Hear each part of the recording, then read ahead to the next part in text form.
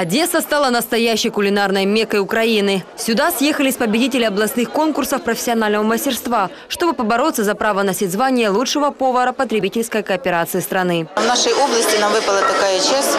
Такой конкурс республиканского уровня проводится впервые. Конкурс состоял из двух этапов. Участники привезли заготовки для домашнего задания, тянули билеты с индивидуальными заданиями.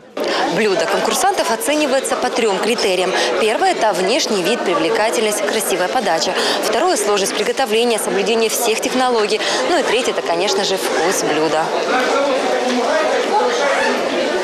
В этом году гран-при получил одесский повар Денис Суркан, покоривший требовательное жюри своей гастрономической трактовкой тематики морского дна и сельдью под шубой в виде роллов. Первое место разделили представители Херсона и Ровно.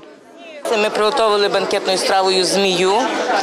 Е, Королева року, так як цей рік є рік змії, і я вирішила приготувати королеву року.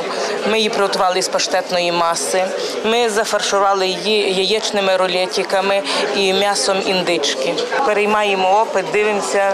Це дуже добре, що такі конкурси проводяться в нас. Все участники конкурса увезли с собой хорошее настроение и новые рецепты. Дарья Сидоровская, Олег Шпак, Новая Одесса.